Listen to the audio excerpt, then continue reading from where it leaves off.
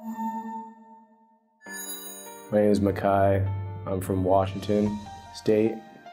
Um, my drug of choice is heroin and Percocet, and it got very bad, and it was gradually moving to me shooting up, and that is not good.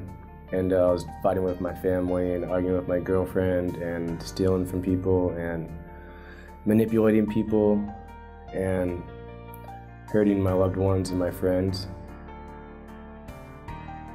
I've been to six different facilities. This is my seventh treatment center. Um, this place is very good if you listen to the groups and actually like like get something from it. Call Palm Partners. This is a place to go to if you are sick or like in need of help. They have a detox center that you can go to before you get to treatment.